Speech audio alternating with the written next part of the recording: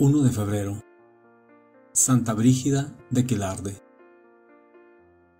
Las numerosas vidas de Santa Brígida, escritas por sus compatriotas en los cuatro primeros siglos después de su muerte, no ofrecen material para una relación completa de su vida. Sin embargo, no cabe duda de que hay que contarla entre los santos más grandes y venerados, cuya virtud ha dado gloria a Irlanda y ayudado, al menos indirectamente, a la cristianización de Europa. Quizá nos demos cuenta del tono general de las vidas primitivas con algunos párrafos de las lecciones del Breviarium aberdonense. Santa Brígida, a quien Dios previó y predestinó para que creciera a semejanza suya, nació de noble familia escocesa. Su padre fue Duptak y su madre Brosea y desde su niñez progresó en todo bien. Esta doncella elegida por Dios, muy juiciosa y llena de sabiduría, siempre buscó lo más perfecto. Su madre le enviaba a recoger la mantequilla que hacían las mujeres con la leche de las vacas, y ella se la daba toda a los pobres.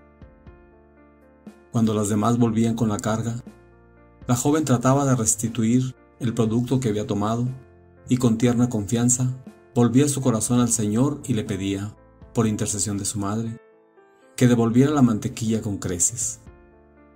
A su debido tiempo, cuando sus padres desearon que contrajera matrimonio, hizo voto de castidad. Lo hizo en presencia de un santo obispo y tocó con la mano el pilar de madera sobre el cual se apoyaba el altar. En memoria de la acción de esa joven, Hace largos años esa madera permanece todavía verde, y como si no hubiera sido cortada y despojada de su corteza, florece en sus raíces y sana a innumerables tullidos. Santa y fiel como era, viendo Brígida que se acercaba el tiempo de sus esponsales, pidió al Señor le enviara alguna deformidad para frustrar la importunidad de sus padres. Se le reventó un ojo y se le derramó por dentro. Y así, habiendo recibido el santo velo, Brígida, junto con otras vírgenes consagradas, permaneció en la ciudad de Mead, donde nuestro Señor, por su intercesión, se dignó obrar muchos milagros. Curó a un extranjero por nombre Marcos, proporcionó cerveza de un solo barril a 18 iglesias y la bebida alcanzó desde el jueves santo hasta el fin del tiempo pascual. A una mujer leprosa que le pedía leche, le dio agua fría porque no tenía otra cosa. El agua se convirtió en leche y cuando la mujer la hubo bebido, quedó sana. Curó a un leproso y dio vista a dos ciegos. Una vez cuando iba de viaje para acudir a un llamado urgente, al cruzar un arroyo se resbaló y se hirió en la cabeza, con la sangre que emanó de la herida, dos mujeres mudas recobraron el habla. Un buen día a un criado del rey se le cayó de las manos una preciosa vasija y se rompió. Para que no lo castigaran, Brígida la compuso totalmente.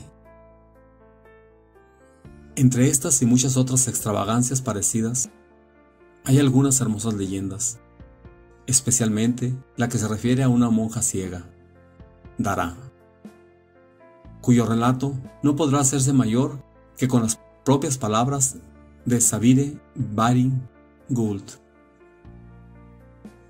Una tarde, al ponerse el sol, Brígida estaba sentada con la hermana Dara, una santa monja que estaba ciega.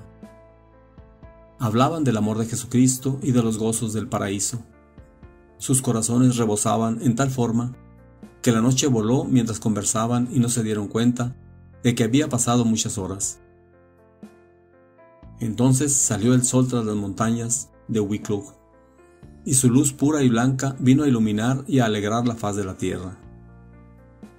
Brígida suspiró al ver la hermosura del cielo y de la tierra. Sabía que los ojos de Dará estaban cerrados a toda esta belleza. Inclinó entonces la cabeza y rezó. Extendió su mano e hizo la señal de la cruz sobre las apagadas órbitas de la dulce hermana. Entonces cesó la oscuridad y Dará vio la esfera dorada en el oriente y los árboles y las flores que brillaban con el rocío de la luz de la mañana. Se quedó mirando un instante y luego, volviéndose a la abadesa, le dijo, Querida madre, le ruego vuelva a cerrar mis ojos, porque cuando el mundo está así de visible a los ojos, el alba ve menos claramente a Dios. Entonces, Brígida oró una vez más y los ojos de Dará volvieron a oscurecerse. Esta es la historia a la cual aludió el poeta Tom Moore cuando escribió La lámpara rutilante que alumbró el santo templo de Kildare ardió constante a través de las edades de sombras y tormenta. Pero no obstante que el material legendario predomina, es inconfundible el entusiasmo que la memoria de Santa Brígida suscitó entre sus paisanos. No sería fácil encontrar algo más fervoroso en su expresión que las rapsodias del Book of Lismore.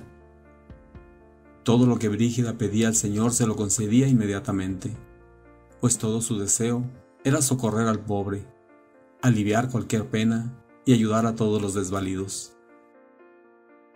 Ahora bien, nunca hubo mujer más tímida o más modesta, más dulce o más humilde, más juiciosa o que tuviera una más armoniosa proporción en todo que Brígida.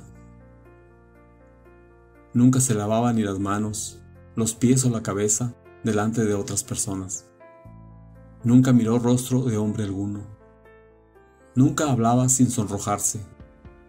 Era abstemia, inocente, piadosa, paciente. Se gozaba con los mandamientos de Dios. Era firme y humilde, perdonaba y amaba. Era un estuche consagrado para guardar la sangre y el cuerpo de Cristo. Era templo de Dios. Su corazón y su mente formaban un trono para que descansara el Espíritu Santo. Tenía puesto su corazón por entero en Dios compadecía a los desgraciados, era pródiga en milagros y maravillas. Por todo esto, su nombre en medio de las cosas creadas es paloma entre los pájaros, viña entre los árboles, sol entre las estrellas. El Padre de la Santa Virgen es el Padre Celestial. Su Hijo es Jesucristo. Su aliento, quien la alienta y la nutre, es el Espíritu Santo. Por eso, esta Santa Virgen ejecuta tan grandes prodigios e innumerables milagros. Ella es quien ayuda a todos los que están en aprietos y peligros, la que disminuye las pestes, la que calma la ira y la borrasca del mar. Es la profetisa de Cristo, la reina del sur, la María de los gaélicos, celtas